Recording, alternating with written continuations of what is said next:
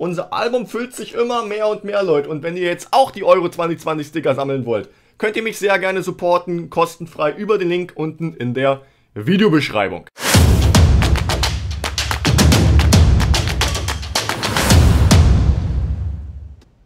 Hey Leute, was euch und willkommen hier zur nächsten Folge von Let's Collect Panini Euro 2020. Ich habe 10 Sticker-Tütchen am Start und ja, heute werden wir insgesamt wieder 50 Sticker einkleben, Leute. 50 Sticker, die in unser Let's Collect Sticker-Heft mit reinkommen. Hier ist es, ich habe schon ein bisschen rangezoomt, dass wir auch direkt starten können mit dem ersten Pack, Leute. Let's go! Mal gucken, welche Sticker wir heute bekommen. Als erstes begrüße ich auch den, äh, den Fubo, den Football World. Er hat nämlich gestern einen Kommentar geschrieben, er guckt mich seit zwei Jahren, ist aber seit, ein, äh, seit einem Jahr Abonnent. Da kann ich euch ans Herz legen, Leute, wenn ihr meine Videos guckt, aber noch nicht Abonnent seid. Ihr könnt euch kostenlos einen YouTube-Account erstellen, da gibt es keine Kosten. Ähm, wie gesagt, YouTube-Accounts zu erstellen ist kostenlos und ein YouTube-Abo ist auch kostenlos. Also da müsst ihr nichts zahlen oder so, um ja hier auch Kommentare zu schreiben, um dem Video einen Däumchen nach oben da, da zu lassen, um Benachrichtigungen zu bekommen, wenn ich ein neues Video hochgeladen habe, etc. Wir starten mit Nicolo Barella aus Italien. Dann haben wir Yannick Carrasco aus Belgien, Kiefer Moore von Wales, Kai Walker aus England und das Schweden-Mannschaftsfoto, die linke Seite. Ja, die linke Seite davon. Nächstes Päckchen. Oh, Antoine Griezmann. Antoine Griezmann am Start hier von den Franzosen. Joe Gomez, der nächste Engländer. Roman Besus. Ich glaube, die Ukraine. Oh, da haben wir so viele Sticker jetzt. No joke, ne? Das werden wir am Ende sehen. Weil Ukraine ist ja, ich glaube, mit einer. Ne, ist glaube ich. Ne, einer der letzten. Ich glaube, die letzte ist Wales und davor ist Ukraine. Dänemark-Logo. Und dann haben wir noch Rasmus Schüller von Finnland, ja, Wolski. Leute, da oben hängt meine Kamera an der Decke, deswegen gucke ich hier ab und zu mal so ein bisschen nach oben. Lul. Wen haben wir hier? Ross Barclay aus England, ja, dritte englische Sticker schon. Spinazzola aus Italien. Kami Glick, der Abwehrchef der Polen. Alter, was geht denn heute mit England ab? Harry Maguire und äh, Connor Roberts von Wales. Nächstes Pack. Alter, Jetzt, jetzt reicht es mal langsam hier. Ben, ben Chilway, guckt euch das an. Der fünfte Engländer. Kroatien. Mannschaftsfoto, rechte Seite. Dann haben wir Joni Kauko aus Finnland. Federico Bernardeschi und Hugo Lori als Kapitän von den Franzosen. Wenn ihr die gestrige Folge verpasst habt oder wenn ihr euch noch ähm, weitere Euro 2020 Unboxings angucken möchtet, findet ihr auf meinem Kanal die komplette Box. Ihr findet die internationale Serie Unboxing Battle Würfeldracht Challenge und natürlich auch die letzten Folgen von Let's Collect Russland, rechte Seite vom Torjubel. Sergei Petrov aus Russland, Ukraine, linke Seite vom Mannschaftsfoto, Niederlande, rechte Seite und Ruben Diaz, der erste Portugiese. Und wenn ihr auch morgen gegrüßt werden wollt von mir, ähm, ich werde nicht jeden Tag einen Kommentar einblenden, sondern vielleicht morgen auch mal fünf Kommentare einblenden oder so.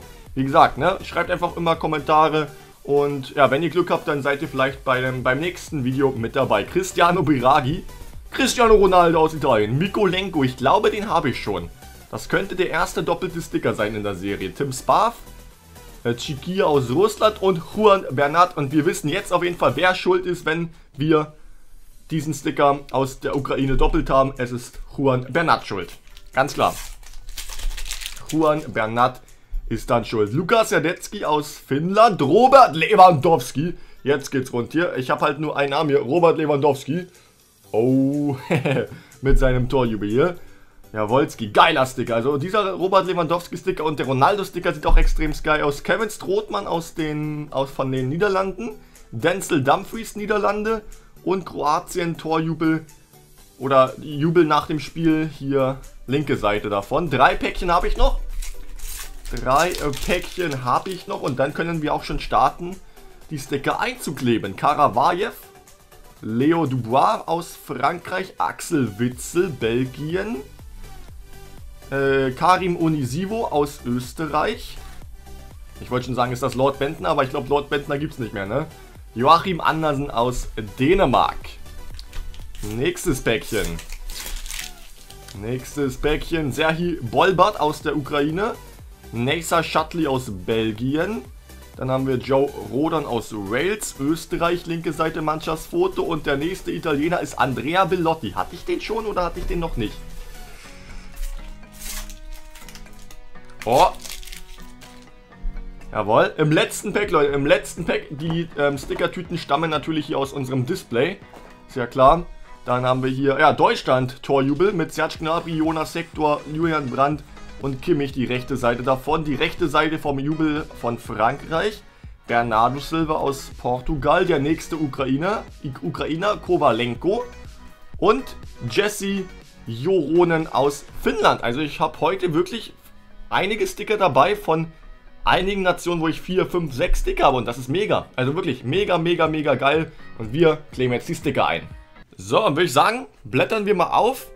Hier von den ersten zwei Seiten hatten wir gar keinen. Da hatten wir gestern den offiziellen Spielball, heute aber nicht einen einzigen Sticker. Ich kann ja das Album so. Ja, ich denke mal, so ist es besser. Zack, dann machen wir weiter mit Österreich. Da hatte ich zwei. Einmal Unisivo und einmal hier die linke Seite vom Mannschaftsfoto. Das ist Sticker Nummer 2 aus Österreich. Und da muss man halt gerade bei diesen Stickern immer aufpassen, dass man die, gerade die Sticker ordentlich einklebt. 28 ist Unisivo. Unser zweiter Spieler von den Österreichern.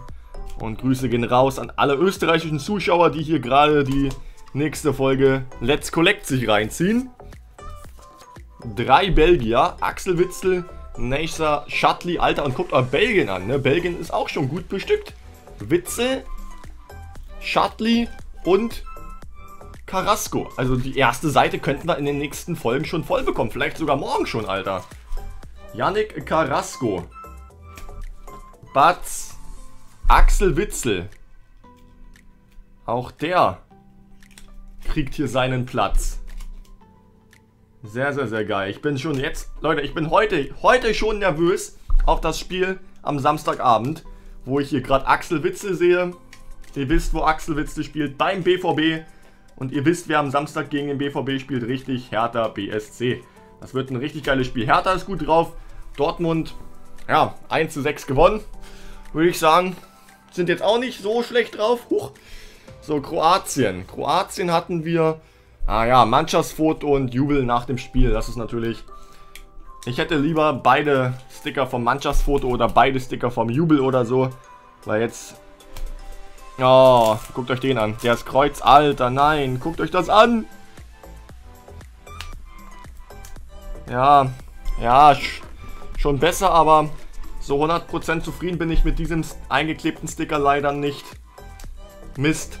Müssen wir mal gucken, wie das aussieht, wenn ich dann die rechte Seite davon einklebe. Der passt auch. Und dann habe ich keinen weiteren Sticker mehr von Kroatien. Von Tschechien habe ich diesmal gar keinen. Ne, ich glaube nicht. Ansonsten bleibt er am Ende übrig. Dänemark-Logo und Andersen. Andersen kommt dahin und Dänemark-Logo natürlich an erster Stelle. Ich finde die Glitzer-Sticker bei dieser Serie, habt ihr sicherlich mitbekommen in den Unboxings, die ich schon gemacht habe zu der Serie, dass ähm, das Glitzerne hier das ist als irgendwie aus einem anderen Material oder mit einer anderen Folie überzogen wie das Logo. Also es fühlt sich einfach anders an. Wenn ihr die Sticker ausgepackt habt ähm, und die Sticker selber, selber habt, wie gesagt, könnt ihr sehr gerne unten in der Videobeschreibung mal ähm, euch ein bisschen umschauen, ob da was Interessantes für euch bei ist. Es müssen jetzt nicht unbedingt die Euro-Sticker sein, aber von den Euro-Stickern spreche ich ja gerade. Wie gesagt, erster Link in der Videobeschreibung. Jetzt geht's rund, Leute. Jetzt haben wir die Engländer hier. Oh shit, Mann. Fünf Stück, wie viele habe ich schon? Drei Stück habe ich schon. Ich habe die 16 hier. Kai Walker als erstes. Also die Engländer. Na, Handy, sei ruhig. Was ist da los? Tschüss, Handy. Mann, das Handy stört hier. ich hatte leider meinen Ton hier noch an. Ja, moin. Kai Walker. Dann Ben Shilray mit der 14. Harry Maguire ist doch hier auch auf der linken Seite. Eigentlich fast. Ne, sind nur Verteidiger. Ne, Ross Barkley ist der einzige Nicht-Verteidiger hier. Ross Barkley und der kommt dann da oben rechts hin und die anderen beiden. Dann noch auf der linken englischen Seite 13 und 11. So sieht's aus. Harry Maguire mit dem Jahrhundert, Jahrhundert-Transfer zu äh, den Red Devils, zu Manchester United. Das sieht auch schön aus. Joe Gomez vom FC Liverpool. Die Premier League geht ja auch bald los, ne? Wieder mit dem Restart der Premier League. Die Premier League Sticker bekommt ihr übrigens auch. Ähm, also die Premier League Sticker, die ihr schon kennt, gibt es übrigens auch nur im Panini Online Shop. Die kann man nicht nirgendwo so kaufen, weil da auch ein paar nachgefragt hatten. Juan Bernat. Juan Bernat mit der 13. Und Juan Bernat kommt dahin. Zack. Und der klebt ordentlich im Heft. Finnland. Finnland hatte ich auch. Und fünf Stück sogar. Fünf Stück, beide Keeper. Lukas Sedecki und Juronens. Zack, also beide Keeper hier. Und Tim Sparf habe ich so auch. Lukas Sedecki von der Werkself. Irgendwie, wenn ich Lukas Sedecki sehe, denke ich immer noch, dass Lukas Sedecki bei Frankfurt spielt. no joke, Alter. Jesse Juronen, Juronen. Patz und Tim Sparf als Kapitän, der natürlich hier oben schön in den runden Ball mit reinkommt. Zack. Ups, jetzt hätte ich fast die Seite richtig zerknickt, ne? Junge, da hatte ich gerade nochmal Glück gehabt. Huh. Das wäre ja was gewesen. Rasmus Schüller und die 22 dahin und dahin. So, so langsam, man merkt, man, man merkt und sieht Fortschritte, oder? Man merkt und sieht Fortschritte und das ist mega wenn sich das Heft immer so langsam füllt. Und bis dato habt ihr schon den doppelten Sticker gesehen? Ich habe noch keinen gesehen, Leute. Es läuft wunderbar, Ski. Es läuft wirklich wunderbar. Baski, Joni Kauko aus Finnland. Zack. So, dann haben wir Frankreich. Frankreich hatte ich auch einige. Die rechte Seite, jawohl. Wir haben das erste, äh, das, den ersten Sticker von so einem, von so einer Art voll.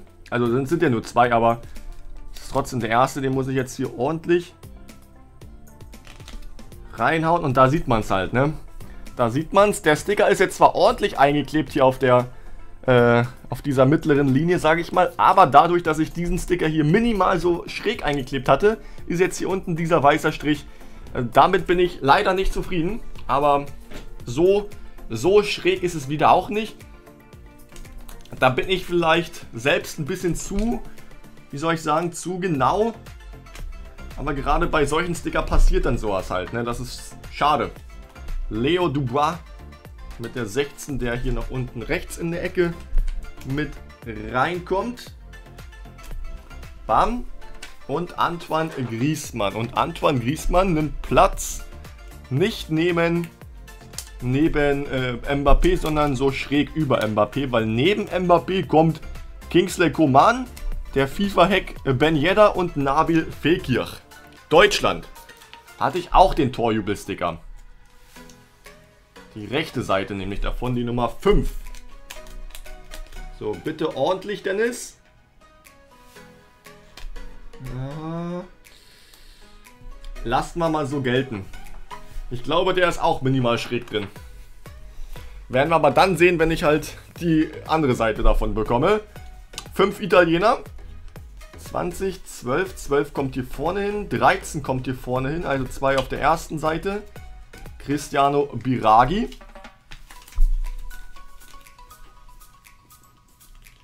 Also bei den einzelnen Stickern habe ich überhaupt gar kein Problem. Ich glaube, da habe ich bei den einzelnen Spielerporträts habe ich alle ordentlich eingeklebt. Bei den Puzzleteilen sage ich mal, also es ist ja kein richtiges Puzzle, ne? es sind zwei Sticker. Also ich bitte euch. So 20, 24 und 27. 27, 24 und ich finde es echt krass, ne? Dass bis dato nicht ein einziger Sticker doppelt ist. Wie viele Sticker hatte ich jetzt insgesamt? Also wie viele Sticker-Packs habe ich jetzt insgesamt ausgepackt in der Serie Let's Collect? 30? 25 und nicht ein einziger Sticker doppelt. Das ist schon mal gut. Und wir wollen ja dieses Album hier komplett mit einer Box füllen. Ob wir das schaffen, das werden wir herausfinden. Das werden wir in Let's Collect herausfinden, Leute. No joke, true story. Da ich ja jeden Tag Sticker-Packs auspacke von unserem Display. So, Niederlande hatte ich doch auch. Drei Stück. Rechte Seite vom Mannschaftsfoto. Hier, dieses, dieses ähm, Wembel, sage ich mal, sieht ein bisschen aus wie Paraguay. Aber wenn man dann genauer hinschaut, sieht man das niederländische Logo. Patz, der ist schön drin. Der ist schön drin. Strothmann mit der 18 auf der zweiten Seite und auf der ersten Seite kommt noch Denzel Dumfries. Hierhin. Zack. So, Kevin Strothmann mit der 18 von Olympic Marseille. Und der klebt auch ordentlich. Robert Lewandowski lächelt mich da an. Und gestern hatte ich ja hier Piontek, Leute. Kamil Glick kommt hier hin und Lewandowski oben links als Kapitän der polnischen Nationalmannschaft. Auch an alle polnischen Zuschauer. Grüße gehen raus an euch. Vielleicht versteht ihr mich, vielleicht äh, guckt ihr auch nur Let's Collect, aber ja, ähm, und versteht mich gar nicht, Lul. Kamil Glick ist auch ordentlich im Heft. Und jetzt haben wir nicht mehr viele Sticker. Portugal. Ruben Diaz und Bernardo Silva. Ruben Diaz auf der ersten Seite. Ich glaube, auf der zweiten portugiesischen müsste ich sogar drei, vier Stück haben, glaube ich, wenn mich nicht alles täuscht. So sieht's aus. Vier Stück und Bernardo Silva reiht sich damit ein. Ne? Wie viele Silvers es gibt bei äh, bei Portugal. Krank, Alter. No joke. Rafa Silva, André Silva, Bernardo Silva. Allein auf dieser Seite hier. Allein auf dieser Seite drei Silvers und auf der, ups, auf der Seite sind es nochmal. Äh, gar keiner. Lul. Huch, huch. Russland. Drei Porträt und dann hier Jubel nach dem Spiel. Die rechte Seite mit Sticker Nummer 5. Und der sitzt ordentlich. So, 12, 14, 15. Ja, wie? Guckt euch das an. 14, 15. Perfekt. Kein Doppelt. Alle können wir einclaimen hier. Wenn das immer so laufen würde, ne? Mega. Mit Chikia. Tada. Äh, Petrov und auch äh, Vyacheslav Karavajev. Zack. Schön. Dann haben wir die Schweizer, da hatten wir gar keinen Schweden. Auch Mist, Alter. Das ist jetzt ein bisschen ärgerlich, ne, dass ich hier die, die linke Seite vom Mannschaftsfoto hatte. Lieber hätte ich hier unten genommen. Ihr wisst ja, dass äh, der Jubelsticker da. Jubel! Aber egal. Muss man ja auch einkleben. Deswegen halb so wild. Türkei hatten wir gar kein Ukraine. Jetzt wird es interessant, weil in der Ukraine kleben schon einige. Und jetzt kommen nochmal vier dazu. Dann noch die linke Seite vom Mannschaftsfoto.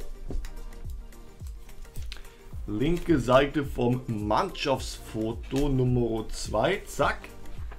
Und dann haben wir hier die 13 und die 14. Als hätte ich es wieder geahnt hier. Kovalenko und Besus, ich habe wirklich keinen einzigen Sticker doppelt von den Ukrainern, die ich heute gezogen habe. Krank, wirklich. Also das ist echt mega. Eine mega, mega gute Quote. Noch nicht einen, Leute, wir haben noch nicht einen einzigen Sticker doppelt in der Serie Let's Collect. Wie heftig ist das denn bitte schön? Viktor Kovalenko. Altes Haus. Komm rein hier. Kovalenko. Batz. Dann Serhi Bolbat. Ich weiß gar nicht, ist England vollständiger oder ist die Ukraine jetzt vollständiger? Ich glaube, Ukraine ist mit auf Platz 1 derzeit, ne? Nummer 13, Mikolenko. Bam. Und dann haben wir noch die letzten Nationen. Das sind nämlich die Waliser und da sieht es ziemlich dürftig aus bis jetzt. Hier kommt wenigstens einer nach hin, Connor Roberts mit der 13. Und auf der anderen Seite, da sieht es ein bisschen besser aus. Ach, hier kommt noch einer. Joe Rodon, der kommt auch mit der 16 da unten rechts noch hin. Perfekt. Dann sieht es wenigstens bei den Walisern auch ein bisschen besser jetzt aus, ne? Rodon und dann habe ich auch nicht. Das ist Kiefer Moor mit der 28. Jawolski. Und dann würde ich sagen, war es das mit der heutigen Folge von Let's Collect, Leute. Wie gesagt, wenn ihr auch die Sticker sammeln wollt, ihr wisst ja, Link unten in der Videobeschreibung. Ich bedanke mich. Wir sehen uns morgen wieder. Wir sehen uns morgen wieder mit weiteren Videos hier auf meinem Kanal und natürlich um 18 Uhr mit Let's Collect. Ich hoffe, ich hoffe ihr seid wieder am Start. Haut rein und Tschüssikowski.